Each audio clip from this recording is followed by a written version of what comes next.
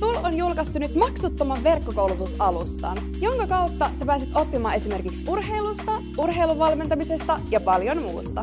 Sun ei tarvii muuta kuin mennä meidän nettisivuille ja tehdä siellä ilmainen profiili.